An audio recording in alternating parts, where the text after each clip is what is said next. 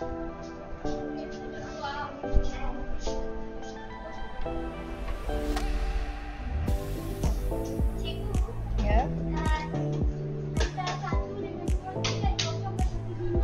sampai satu lah. Hmm, hmm, hmm. Ah, ya. Yeah. Okay, dia start dulu kan? Okay, Ria start tak perlu laraskan tak? Dia memang sampai dua? Ah, dah kita la- laraskan je. Okay, betul-betul. Satu, dua, tiga.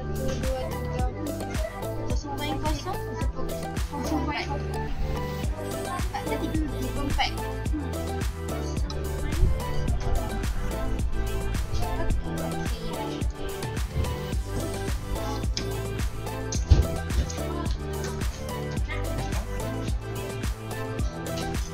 Okay, perlu laraskan Ria start tak?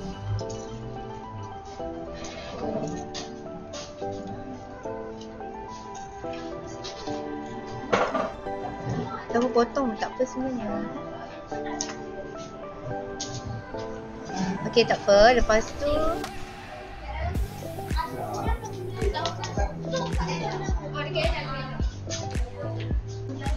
Okay emitter dia bergerak tak?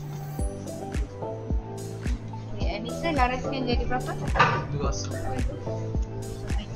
Kemudian ambil bacaan apa?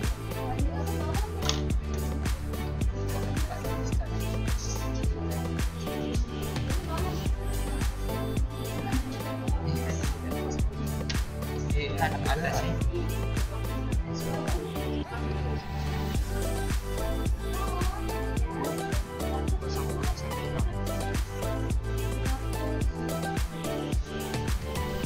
Okay betul tak semakin meningkat uh, meningkat panjang makin meningkat nilai voltan dia.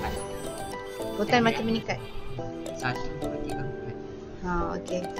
Okey nanti kena kira dia punya rintangan. Okey sekarang kamu buat yang berapa? 80 cm. Okey nilai arus. 0.2.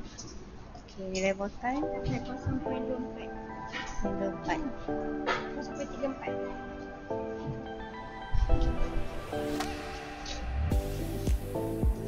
Okey. Okey sekarang kamu buat untuk Okey 60 cm. Okey uh, perlu laraskan rheostat tak untuk tengok arus? Dia tak bergerak dia sama. Okey kamu dah malarkan arus kan?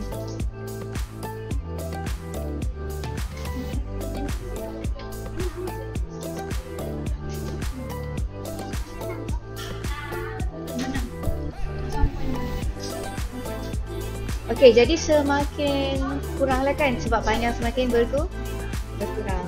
Okey.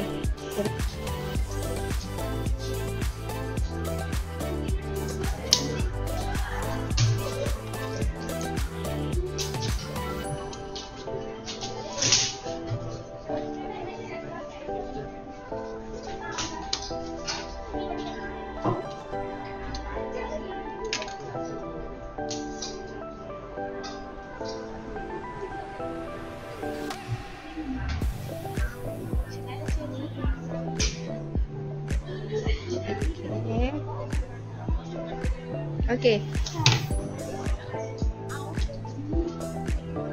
Dia kalau longgar, kalau longgar pun dia selalu tak tak ada bacaan. Kau nak kena ketat. Sebab tu cikgu kata kalau boleh lilitkan kan. Lilitkan wire tu dengan tip wire.